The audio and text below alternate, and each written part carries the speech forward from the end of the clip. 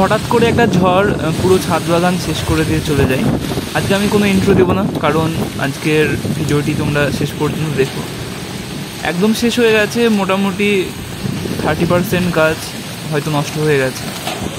এত পরিমাণে ঝড় হবে, আমি এটা বুঝতে পারিনি। তাহলে আমি আরও অনেক প্রিপারেশন নিয়ে রাখতাম, কিছু গাছকে ভিতরে ঢুকিয়ে রাখতাম।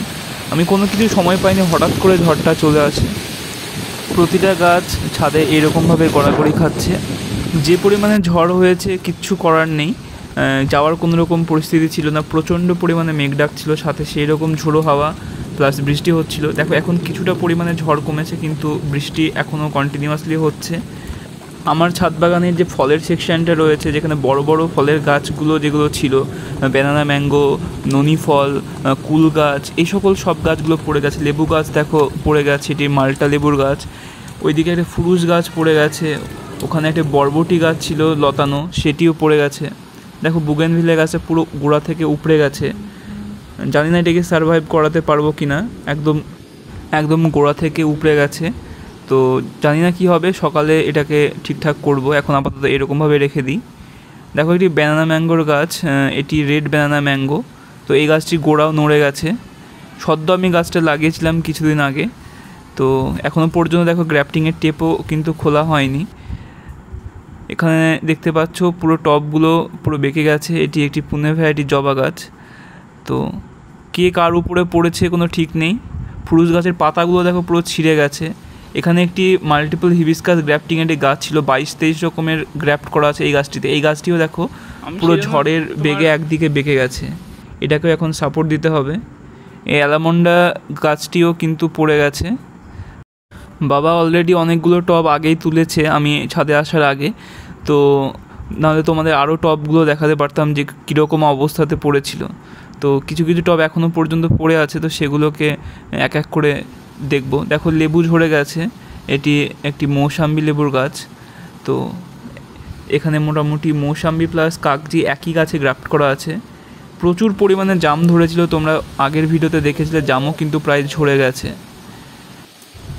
বরবটি গাছের জন্য একটি বাহান মতো করে দেওয়া হয়েছিল। তো অর্ধেক উড়িয়ে নিয়ে চলে গেছে।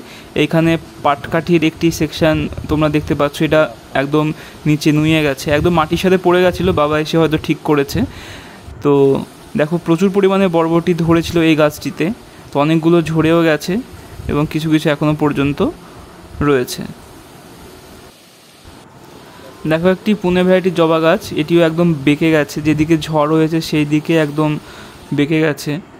এই নয়নতারা গাছটি দেখো পুরো পড়ে গেছে, এটিও হয়তো বাঁচাতে পারব কি না সেটা নিয়ে ডাউট রয়েছে। গোড়া যদি ভেঙে যায় তাহলে হয়তো বাঁচানো যাবে না। তো দেখো কি অবস্থা হয়েছে। একটি বল সুন্দরী কুল গাছ ছিল। এই কুল গাছটি ছাদের উপরে রাখা ছিল।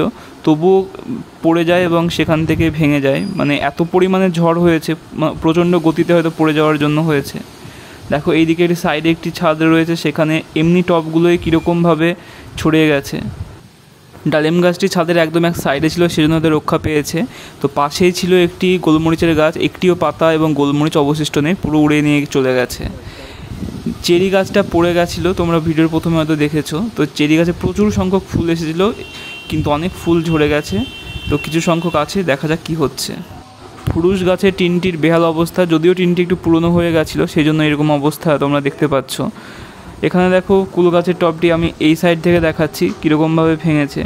এই দিকেই পড়েছিল এবং এই দিকেই দুটুকরো হয়ে গেছে। তো এটির জন্য আমাকে আলাদা রিপোর্ট করতে হবে। এই আমড়া গাছটিও পড়ে গেছিল। বারো মাসি থাই ভ্যারাইটির আমরা। এখনও পর্যন্ত প্রচণ্ড ঝড় দিচ্ছে। তোমাদের দেখানোর জন্য এই বুদ্ধ জুইটাকে খুব সুন্দরভাবে আমি সাজিয়েছিলাম, তো এটিও পড়ে গিয়ে একদম খারাপ হয়ে গেছে। রাস্তারও খুব বেহাল অবস্থা। দেখো, প্রচুর গাছ ভেঙে গেছে, পোল পড়ে গেছে।